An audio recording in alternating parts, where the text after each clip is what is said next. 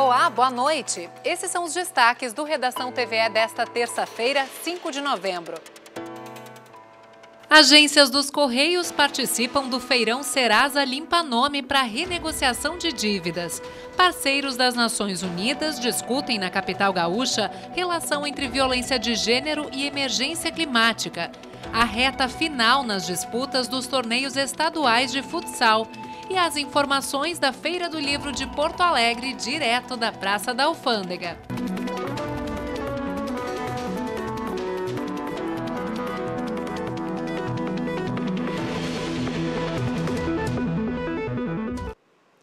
Até o dia 29 de novembro, as agências dos Correios estão participando do maior evento de renegociação de dívidas já promovido pela Serasa.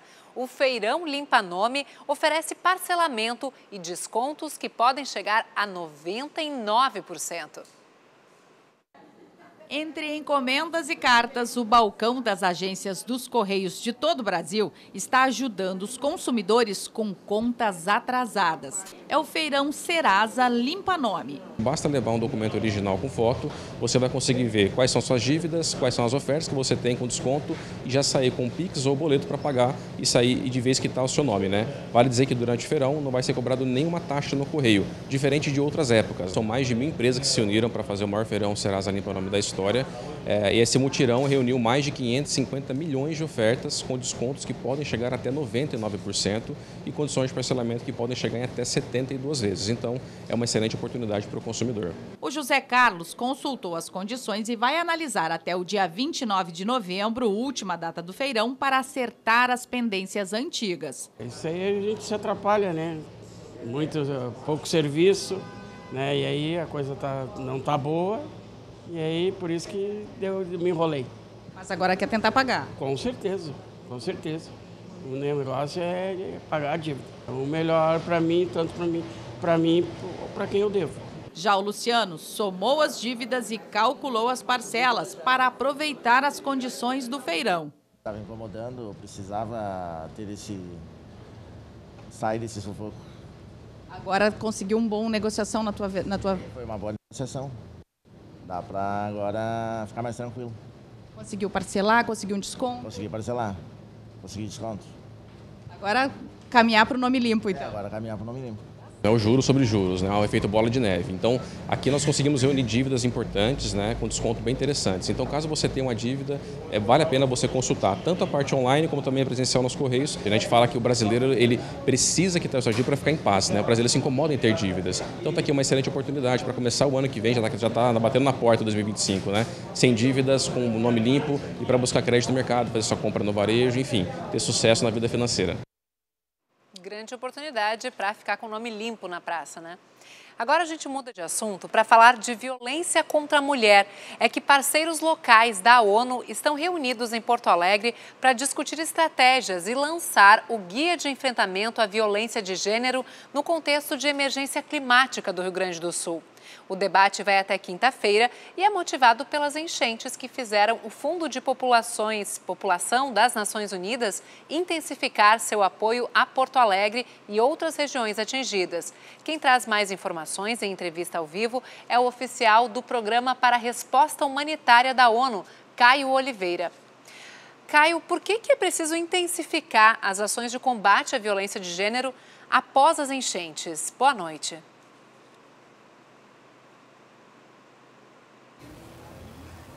De emergência, de crise humanitária, essas questões de violência baseada no gênero, elas aumentam, porque mulheres e meninas, elas sofrem de forma desproporcional é, essas ações. Então, elas estão desacompanhadas, ficam em abrigos, desacompanhadas, estão ali expostas a situações é, de violência. Então, exponencia a sua exposição ao risco. Então, é importante que durante esses momentos, essas crises, sejam crises climáticas ou crises migratórias, onde as mulheres também se deslocam, né, saem deslocamento forçado dos seus países de origem para buscar vidas melhores em outros países, durante esse trajeto elas estão expostas a mais situações de risco.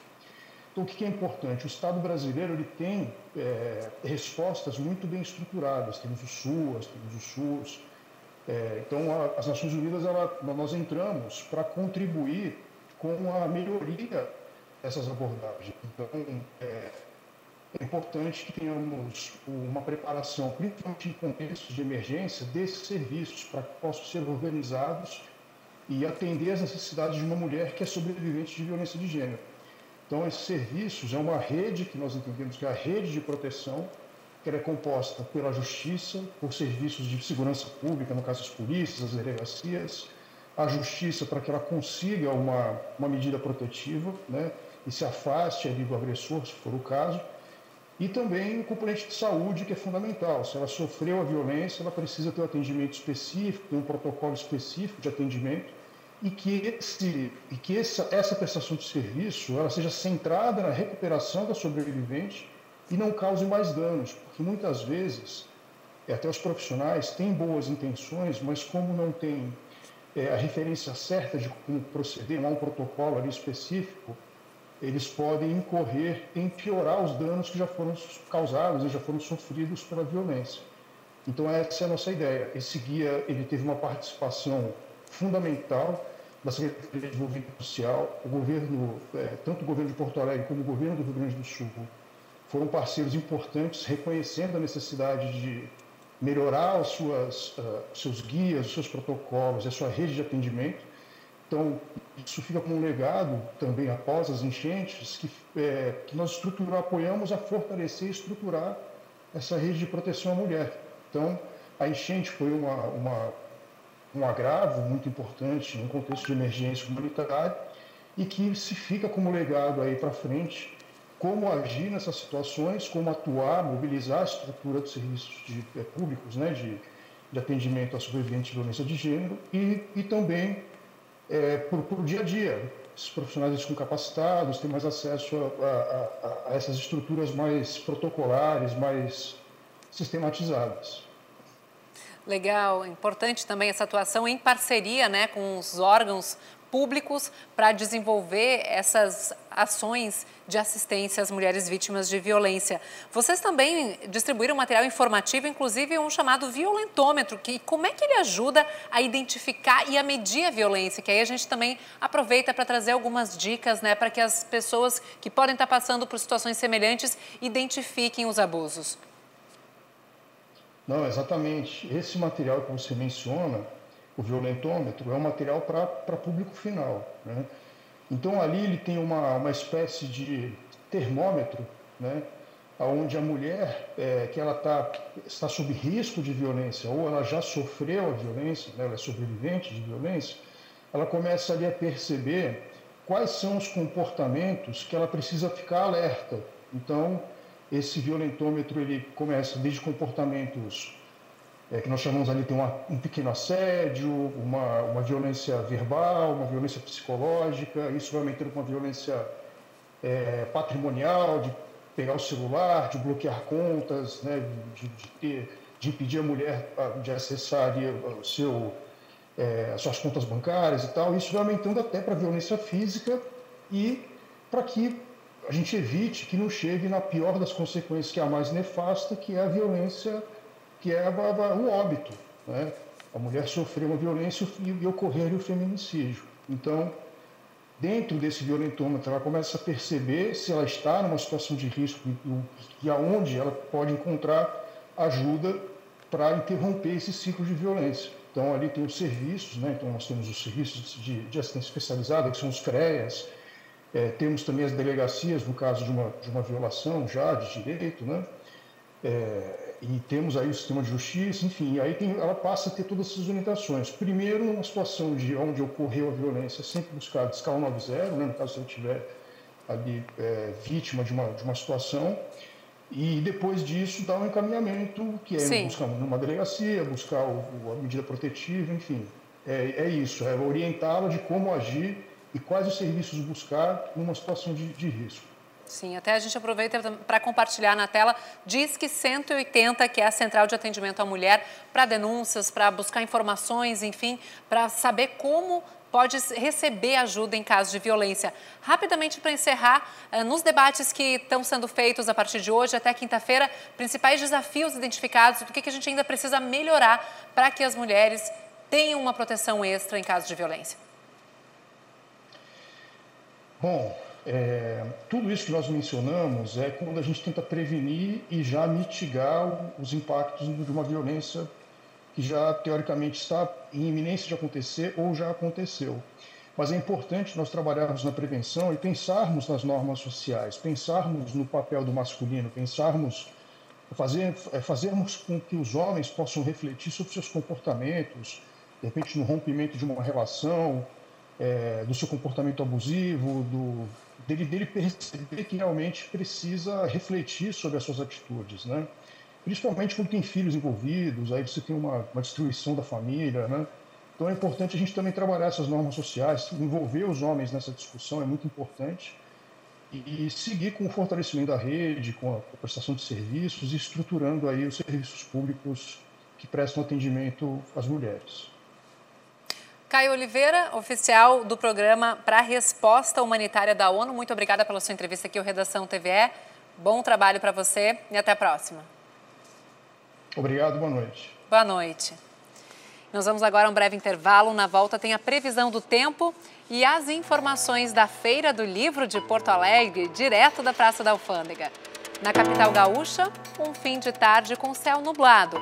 Neste momento, no alto do Morro Santa Teresa, temperaturas na casa dos 23 graus.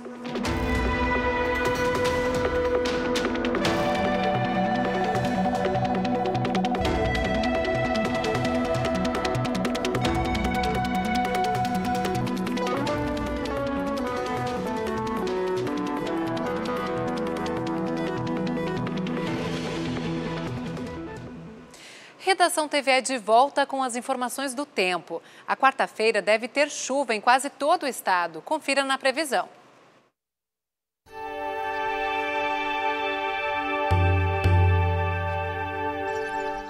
Com o sistema de baixa pressão vindo do oeste e a frente fria, segue a instabilidade. As precipitações vão ocorrer em quase todas as áreas. O alerta para pancadas mais fortes vale para pontos da Serra e do litoral. Já no sul do estado, tempo parcialmente nublado. As temperaturas caem um pouco. Em Porto Alegre, mínima de 22 e máxima de 29 graus. Variação entre 19 e 27 em Caxias do Sul.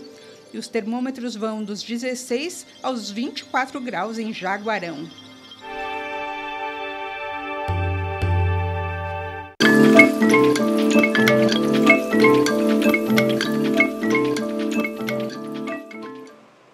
E mesmo com a chuva, a Feira do Livro não para. Nós vamos agora então a um contato com o Gabriel Palma, que está lá na Praça da Alfândega, centro de Porto Alegre, para saber como é que está a movimentação por lá. Boa noite, Gabi. Vamos tentar novo contato com o Gabi. Enquanto isso, notícias do esporte. Os estaduais de futsal estão entrando na reta final. Na Série Ouro da Federação, é hora das semifinais. Já na Série A da Liga, vão começar as quartas de final, com direito a jogo ao vivo aqui na tela da TVE. Os jogos de ida começam nesta sexta-feira e vão até o domingo. O primeiro deles será entre o Atlântico e o Passo Fundo, no Caldeirão do Galo, em Erechim. No sábado, mais uma partida. Lá na fronteira oeste, a uruguaianense recebe o Cerca. Já no domingo, a bola vai rolar duas vezes. O primeiro confronto acontece logo às 11 horas da manhã em Marau, entre a AMF e Guarani de Espumoso, com transmissão ao vivo em canal aberto aqui na tela da TVE. Às 4 horas, o Guarani irá medir forças com a IESCO em Frederico Westphalen. A rodada de volta, com inversão dos mandos de quadra, será realizada na semana seguinte em datas e horários ainda por definir. Já na Série Ouro, o estadual promovido pela Federação Gaúcha de Futsal, os semifinalistas ficaram definidos no fim de semana. No domingo, a CBF e a Soeva garantiram as últimas vagas. Desde o sábado que o Atlântico estava garantido na próxima fase. Nas semifinais também está a Ser Santiago. As partidas de ida serão jogadas neste sábado. Em Erechim, o Atlântico encara a Soeva em duelo de clubes que disputam a Liga Nacional de Futsal. No outro encontro, a Ser Santiago recebe a ACBF, que também é forte candidata ao título. Os embates de volta estão marcados para o sábado seguinte com a troca dos mandos. E seguimos nas quadras, mas agora Liga Nacional de Basquete Masculino. O Caxias do Sul não resistiu ao forte time do Flamengo e foi derrotado no Rio de Janeiro. O time gaúcho perdeu para os cariocas por 84 a 55 na partida disputada ontem à noite no ginásio do Tijuca Tênis Clube, no Rio de Janeiro. A equipe carioca demonstrou sua superioridade ao dominar o jogo do início ao fim, mantendo-se à frente e impondo um ritmo forte sobre os caxienses. Diante de um dos favoritos ao título, o time caxiense teve muitas dificuldades para desenvolver seu jogo. Com uma defesa forte e velocidade para aproveitar os contra-ataques, o Flamengo abriu vantagem no primeiro quarto e fechou a parcial com 22 a 14. Os cariocas mantiveram um ritmo forte até abrir uma vantagem confortável. No último quarto, as equipes atuaram com os reservas, pois a partida já estava decidida. O Flamengo chegou ao sétimo triunfo na competição. Já o time da Serra tem duas vitórias e três derrotas. Este confronto marcou o início de uma sequência de jogos fora de casa para o Caxias do Sul Basquete, que também enfrentará o Vasco da Gama nesta quinta e o Botafogo no sábado, ambos no Rio de Janeiro. O próximo jogo em casa será somente no dia 14 de novembro contra o Brasília, no ginásio do SESI, em Caxias. E agora a gente fala do uso da música como ferramenta de aprendizado. Não é uma novidade, mas ela vem sendo vista cada dia mais como uma estratégia bem sucedida de educação e desenvolvimento dos pequenos. Algumas mães até se beneficiam dela na hora de tarefas, como guardar os brinquedos, tomar banho ou fazer a chata, mas necessária lavagem nasal, por exemplo. É o que você confere na reportagem da nossa parceira TV Cachoeira.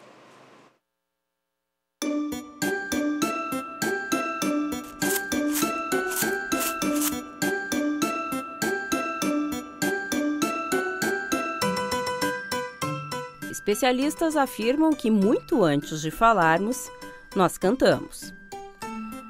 A melodia, muitas vezes, até sem que percebamos, está presente em nossa vida. Pode perceber, até em atividades diárias, quando nos vemos, estamos cantarolando. É, a música está em nós.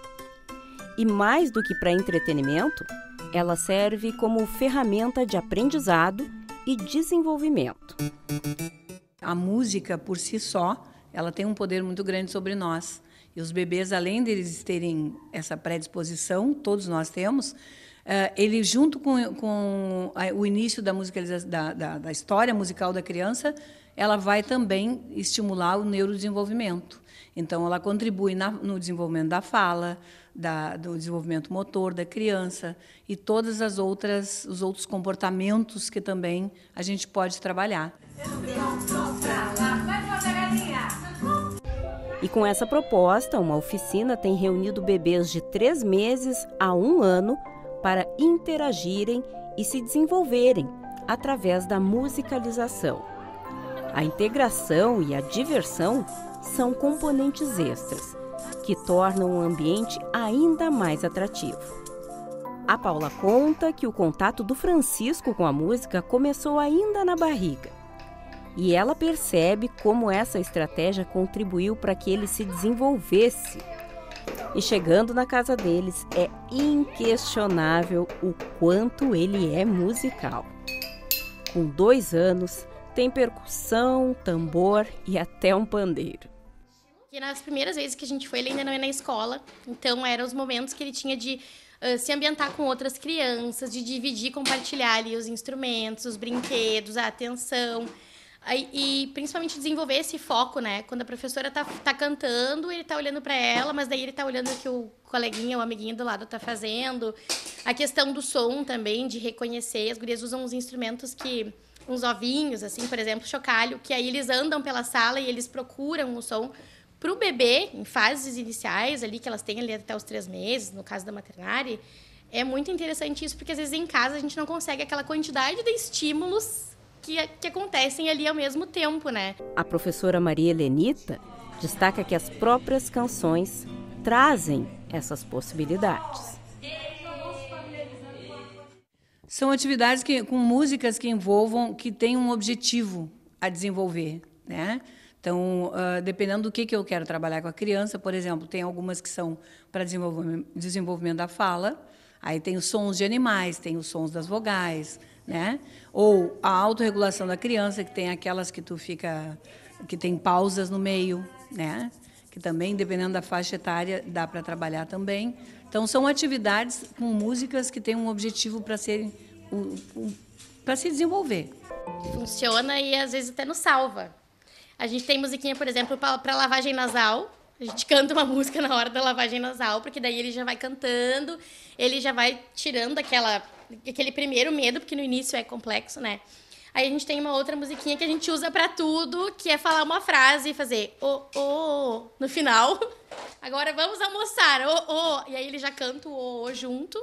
Assim como Francisco, o Joaquim também viveu essa experiência do contato com a música ainda na barriga. A mãe, a Karine, ouvia muitas músicas e participou de uma oficina de música para gestantes. Essa experiência, além de contribuir para o desenvolvimento desse curioso e sorridente garotinho, trouxe para ele um amigo desde a barriga, podemos dizer. Eu e meu marido, a gente trabalhou muito o que a gente queria durante o parto, também músicas, a gente fez playlist para esse momento. E é muito bacana porque o Joaquim escuta essas músicas hoje e ele reconhece. E eram músicas de desenho animado, então a música do Rei Leão, a música do Tarzan, é, músicas de desenho antigo assim que a gente botava para ele escutar. E hoje ele fica escutando, parece que ele lembra o quanto ele escutava isso. E também com a questão da, uh, das oficinas de música, o Joaquim ele é uma criança plenamente desenvolvida assim na fala. E além de ser muito sociável. Então ele é uma criança que se tu perguntar, cadê o pintinho amarelinho? Ele vai mostrar, tá aqui na minha mão. Ele é uma criança que ele já sabe, o seu Lobato tinha um sítio, ia, ia, o. Então ele já sabe várias questões que, que foi a aula de música que conectou. E eu acho que a música é uma coisa meio universal, assim. É difícil tu não gostar de música. Pode ser que tu não goste de um estilo, né? De um, formato, enfim. Mas alguma música vai te tocar. Eu, eu vejo que o Francisco tem isso da personalidade dele, porque aderiu demais com ele, se tornou uma coisa que chegou um momento que ele, de madrugada, ele canta o sítio do seu Lobato dormindo. Aconteceu isso, assim, a gente ficou. Como? Mas é que tá tão uh, intrínseco nele, assim, é tão dele, que ele trouxe isso para ele. Eu acho que se for feito o estímulo da forma, de forma saudável, sem querer impor aquilo ali, ou sem forçar alguma coisa, mas que a criança descubra a relação que ela tem com a música, só vai surtir bons efeitos, efeitos positivos. Porque não tem, não tem um mal que a música possa fazer, né? Fico feliz de, de ter conseguido construir com ele tão novinho ainda assim essa relação. Ele entra no carro, mãe, música. Ele chega em casa, mãe, música. Ou eu falo o nome da música. Então a gente tem que. Isso se tornar uma diversão para ele, né? A gente acha, acho que chegou nesse ponto.